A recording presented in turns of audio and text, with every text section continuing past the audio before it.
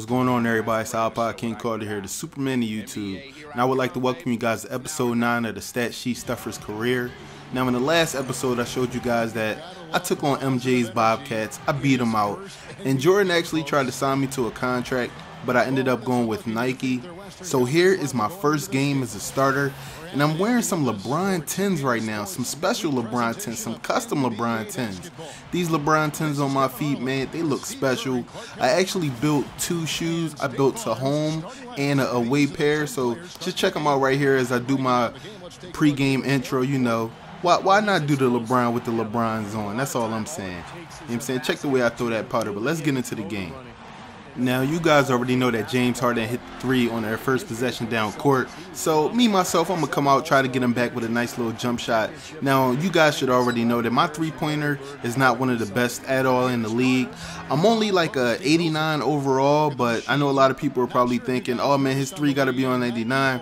Trust me, I have not touched my three pointer. I'm still one of the worst three point shooters in this league. You know, I only make, you know, a few every so often, but let me give you guys a little bit of backstory on why I'm a starter. I know a lot of people probably are thinking, oh man, you got the starting spot because of your overall and the way you're playing. To tell you the truth, the only reason I have the starting position is because Aminu has gotten injured. Now look at this. Look at me in the bottom of the left corner right now, looking like a fool, looking like they just jumped me out there when am I ever going to get a call? But basically, man, before I started this game, I always go into my schedule, I go into my roster, and I go into my minutes to actually see how often I will be upgraded in minutes or when when I will get better, when I will get better than any other player. And one thing I noticed is they had me in the starting lineup, not at six man, and I was like, wow, I got the starting spot after only five games. That's crazy. All I could do was clap it up. You know what I'm saying? You know how the game go, y'all. I'm better than Aminu. So I'm just cool and happy that I got the starting spot. But I'm still missing layups on the inside, even up and unders. But Anthony Davis is there to clean things up. If it's one thing that I like about the Hornets, man, I love Anthony Davis. He actually runs the pick and roll the right way. He actually scores when I give it to him in the paint paint. He is not a Lopez at all. And I know that a lot of guys feel my pain about Lopez. But check out the last possession of the second quarter right here. Now, Delfino, he should have made that shot, man. It's no reason he should have missed. But we're about to hop into halftime. I know that feels like it was a short two quarters. But look, man, it's 47 to 42 and we're up. I'm gonna just let the halftime show do, do what it does. I'm gonna sit back, relax, and watch with y'all. Be back in a sec, y'all. And now, brought to you by Sprint. Well, it's halftime on 2K Sports. This is Damon Bruce. Let's get right to the first half breakdown. The New Orleans Hornets have the lead against Houston. They're off to a hot start this season. They'd like to continue that hot streak in this game. Offensively, they're dialed in. Guys working hard together. They're getting to their spots and they're hitting the shots that count.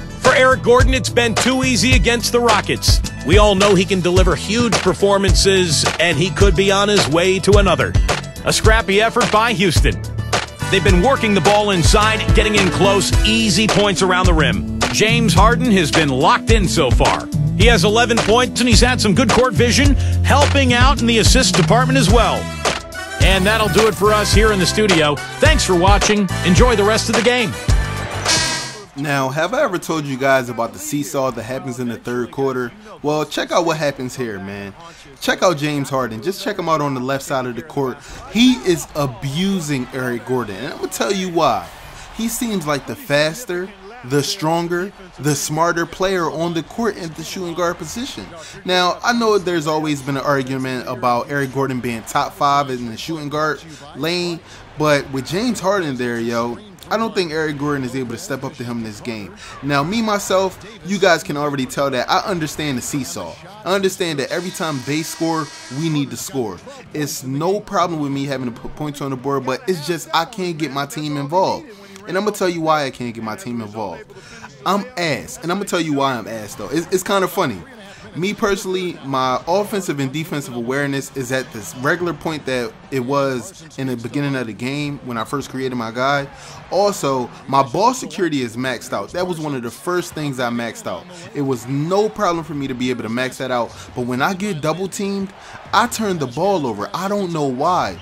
Usually with my point guard, I would have been able to get the double team, pass out a shot, pass it to an open guy, and they would make it. But with my stat sheet stuffer, it seems like every time I get double team, if I try to back up out of the play, I'll end up getting a loose ball and the ball will get turned over. Like, check out my turnovers right here. I had four turnovers opposed to one assist. You guys already can understand my pain, my frustration.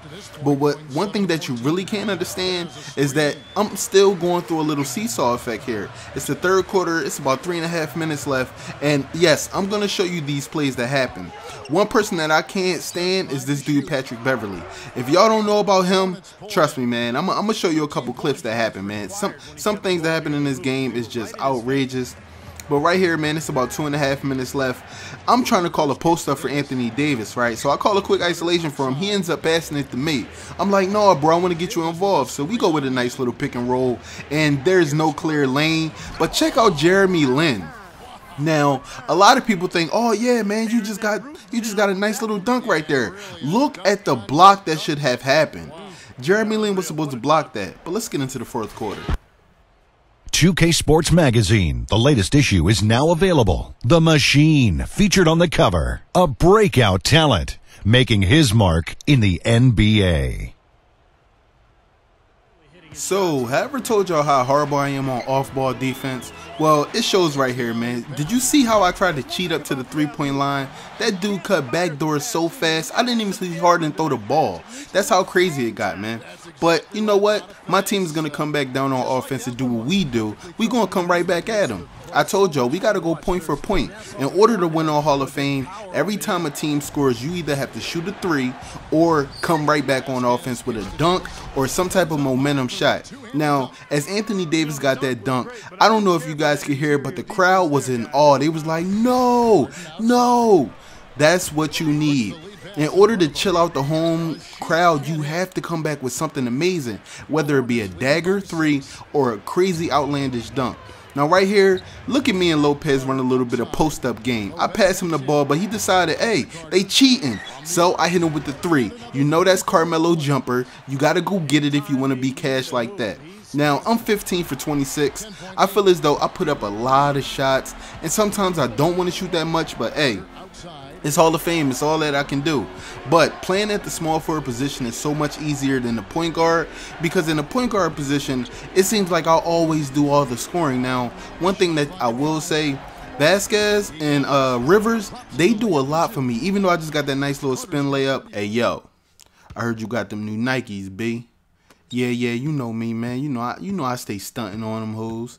You know what I'm saying? How much your contract? Millions. Let me stop fooling, man.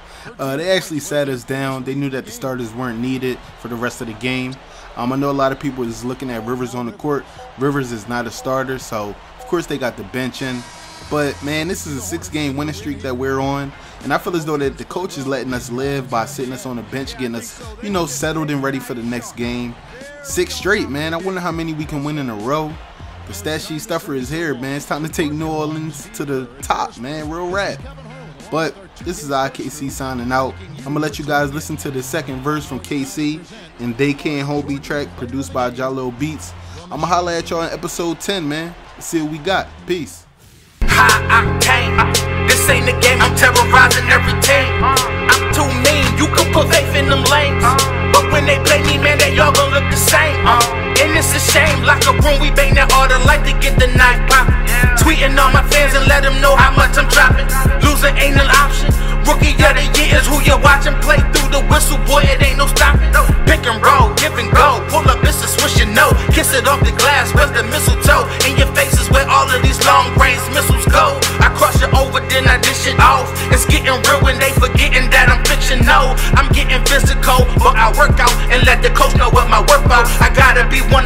Of the best small forwards that you know about. I'm lacing up my sneaks and I'ma show out. Double team dream,